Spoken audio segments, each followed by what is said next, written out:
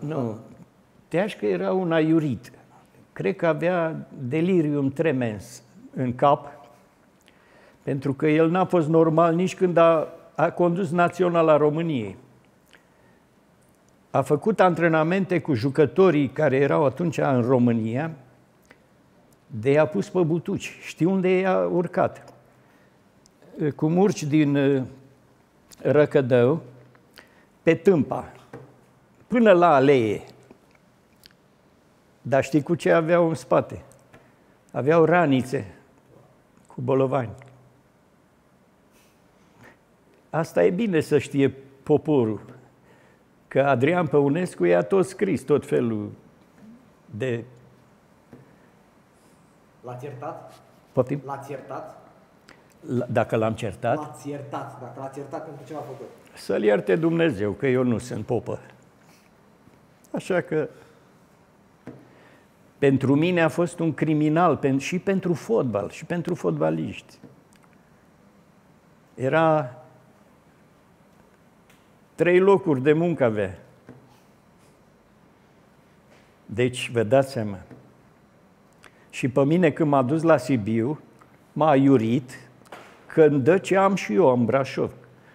Zic, eu trebuie să predau locuința asta, că nu e a mea, e a clubului. Să bage alt fotbalist acolo.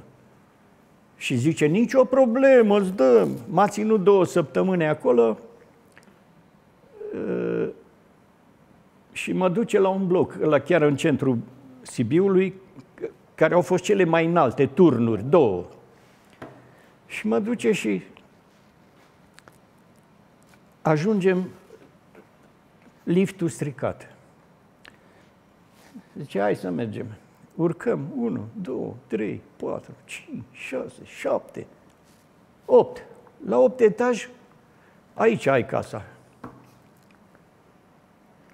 Și i-a spus, aici te muți dumneata. Dumneata ai fost la mine acasă. Ai văzut unde stau. Păi mă pui pe mine la cucurigu? Da. Și i-am spus, zic, îmi dați uh, actele înapoi, că semnasem pentru ei. M-am dus, am scos banii de la cec și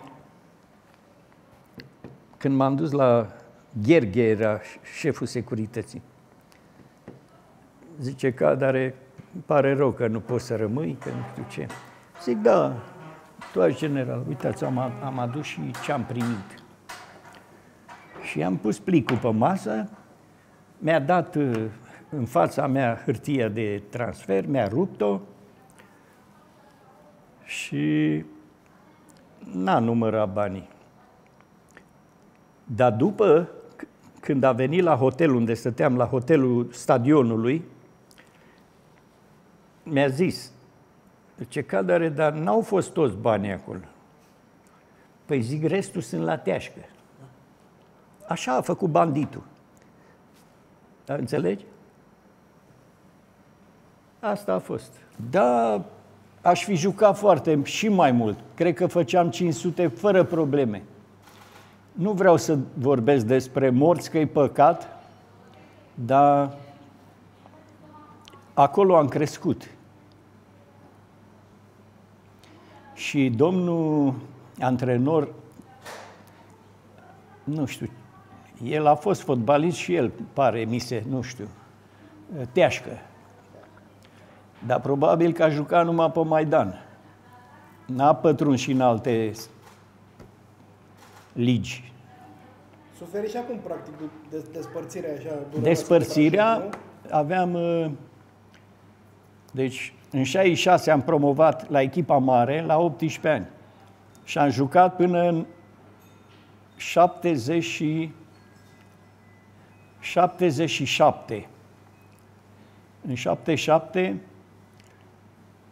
eram capitan de echipă, că pescarul, Dumnezeu să-l ierte, fiind, fiindcă eram prieten foarte bun și am stat 13 ani în aceeași cameră. Uh, mi-a spus, zice, măi, Petre, eu cu ăsta trebuie să mă las de fotbal. Dar de ce, măi, n-ai? Păi nu vezi ce ne face ăsta, mă? Ne punea saci cu nisip, ne punea plumb în ghete și ne alerga pe niște dealuri de când cobora în jos putea să ne ducă la abator. În fine, nu știu ce s-a întâmplat și am avut o discuție cu el. Dar, de fapt, mi-am adus aminte. Am fost accidentat de către un jucător, tot de la noi din echipă, și nu puteam să mai alerg. Plus că mi-a păruse în călcâi un cioc și trebuia operat. Dar eu n-am vrut să mă operez și medicul care m-a tratat mi-a spus că ar fi bine să mă tratez cu niște raze ca să nu taie călcâiul, că călcâiul se repară foarte greu. În fine, până la urmă mi-a trecut. Dar pentru că i-am spus că nu pot să fac antrenament, m-a pus să fac 50 de ture de teren, piste. Eu n-am zis nimic, am început, am alergat și după vreo 10 ture m-am trezit în dreptul lui, mai erau două persoane. Doctorul Taus și cu ăla care avea grijă de stadion, administrator. Și m-a înjurat de mamă. Eu, a, când am înjurat de mamă, m-am dus și l-am prins. L-am vrut să-l sugrum. Așa eram noi atunci. Mai sălbatici, mai... Și până la urmă l-a scos ăștia din mâinile mele și a scos echipa de pe teren, a băgat-o în cabină. Când am vrut să mă duc și eu în cabină, m-a dat afară.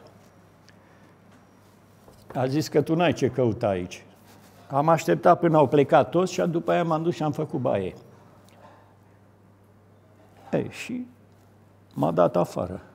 A zis că nu mai am ce căuta acolo.